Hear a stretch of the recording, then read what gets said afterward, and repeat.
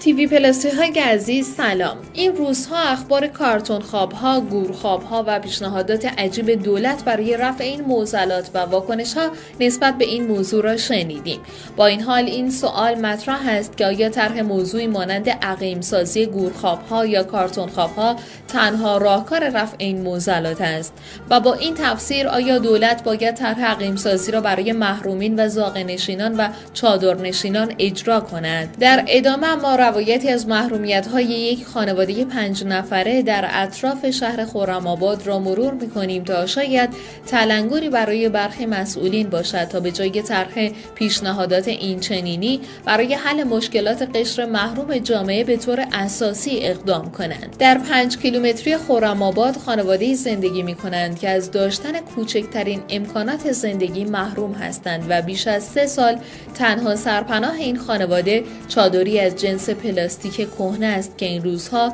به دلیل سرما و بارندگی در گلولای موجود این شرایط سختی را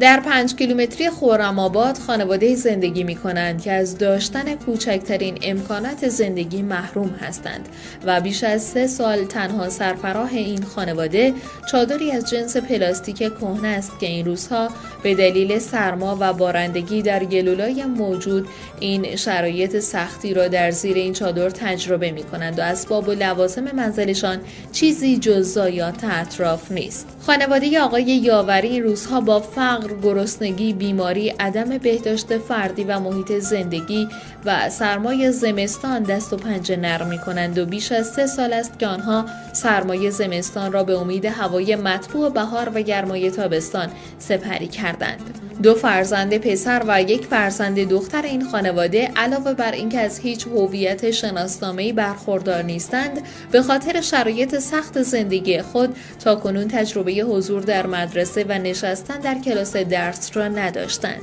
پدر خانواده نیز سعی می کند حتی با جمعآوری زایات بتواند لغمنانی را برای خانوادهش فراهم کند اما اوضاع کاری نیز با او چندان یار نیست و خانواده او همچنان روزهای سختی را سپری می کنند. پدر این خانواده می گوید سه سال است که وضعیت ما به همین گونه است و تا کنون برخی نهادهای حمایتی مانند کمیته امداد امام و بهزیستی در جریان وضعیت زندگی ما قرار گرفتند اما شاهد اقدامی برای رفع بخش کوچک از مشکلاتمان نبودیم و تنها امیدمان خداست. در پی اطلاع سپاه استان لورستان از وضعیت این خانواده صبح روز گذشته گروهی متشکل از مسئول بسیج سازندگی لورستان